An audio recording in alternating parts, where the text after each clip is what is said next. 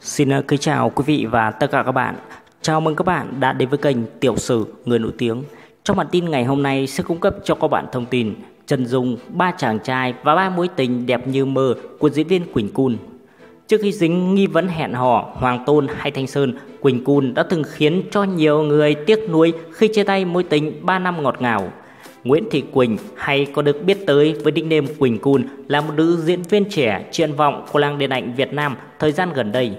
Người đẹp gốc Thái Bình sinh năm 1995, khán giả đã nhớ mặt qua series Kem Sôi nổi tiếng trong giới trẻ một thời. Ngoài ra, cô từng góp mặt trong nhiều bộ phim hot như Quỳnh Búp Bê, Nhà Trọ, Ba Lan Hà, Đừng bắt em phải quên hay các MV ca nhạc Vợ người ta Phan Mạnh Quỳnh, Gió mùa về, Nguyễn Trần Trung Quân. Lịch sử tình trường của Quỳnh Cun không thể không kể đến ba mối tình đáng ngưỡng mộ của cô cùng với chàng phi công điển trai Nguyễn Thanh Hải sinh năm 1996. Những ngày còn mặn nồng, Quỳnh Cun đã thường xuyên chia sẻ các bức hình rất tình của mình và bạn trai. Cô còn từng khiến cho không ít người suy xoa ghen tị khi đăng tải trên mạng xã hội clip khóa môi xuyên Việt cùng với Hải khi đi du lịch.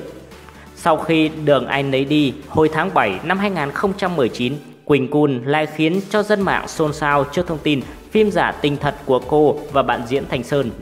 Hai diễn viên gây phản ứng hóa học rất tốt nên thường được nhận xét là đẹp đôi. Chính vì vậy mà dân tình cũng tích cực đẩy thuyền mệt nghỉ.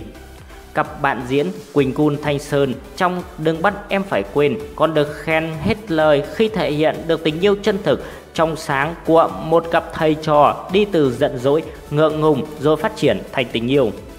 Không chỉ tình bệ bình trên phim mà tại hậu trường phim đứng bắt em phải quên, cô và Thanh Sơn cũng rất chăm chỉ chụp ảnh tình tứ như một món quà dành tặng cho khán giả theo dõi bộ phim.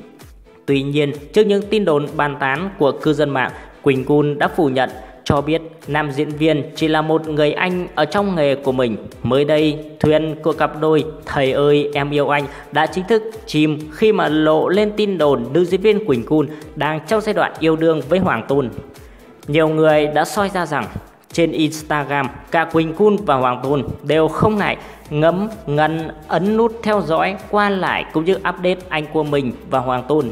Người đẹp cũng nhiều lần mập mờ khoe người yêu ở trên mạng xã hội thông qua những hình ảnh đi chơi chung cùng với hội bạn.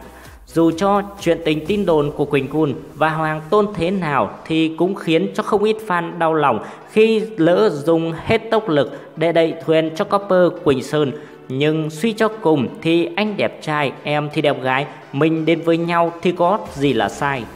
Cảm ơn các bạn đã quan tâm theo dõi. Các bạn đừng quên bấm like, đăng ký kênh để ủng hộ chúng tôi.